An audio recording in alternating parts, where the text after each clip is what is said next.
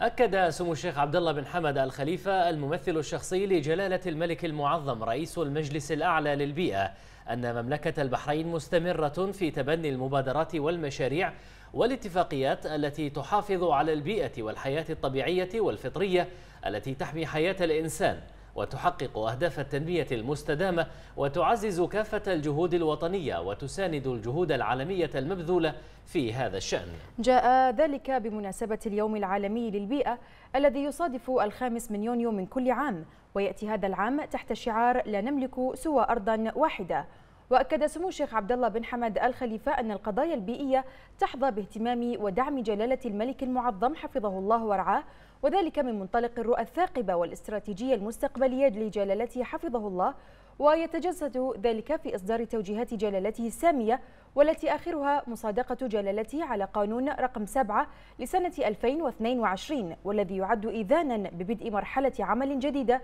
في مجال حماية البيئة في مملكة البحرين. ليكون هذا القانون نبراسا تسير عليه المملكة نحو المزيد من التقدم والنجاح. ونوه سمو الشيخ عبد الله بن حمد آل خليفة إلى الجهود الحكومة الموقرة برئاسة صاحب السمو الملكي ولي العهد رئيس مجلس الوزراء حفظه الله وبمتابعته الحثيثة من خلال الدعم المباشر من سموه لتوحيد الجهود للحفاظ على البيئة والمناخ وتحقيق أهداف التنمية المستدامة والتي بفضلها باتت ركنا أساسيا في جميع المشاريع والبرامج ذات العلاقة في برنامج عمل الحكومة وتحديد مجموعة من الأهداف التي التزمت بها مملكة البحرين من خلال الاتفاقيات المناخية والبيئية التي وقعتها مع العديد من المنظمات والأطراف الدولية المتخصصة في مجال المحافظة على البيئة والمناخ. وأكد سمو الشيخ عبد الله بن حمد أن الجهود التي تبذلها مملكة البحرين تسعى لتحقيق الأهداف من خلال وضع الخطط الطموحة للوصول إلى انخفاض الانبعاثات بنسبة 30% بحلول عام 2035 وزيادة مساحة أشجار القرم أربع مرات مقارنة بالمساحة الحالية ومضاعفة أعداد التشجير والمسطحات الخضراء ومضاعفة أهداف الطاقة المتجددة واستهداف الحياة الصفري في عام 2060 موضحا سموه أن هذا الأهداف ستعمل على تعزيز الجهود الهادفة للحفاظ على التربة التي يدور حولها شعار هذا العام.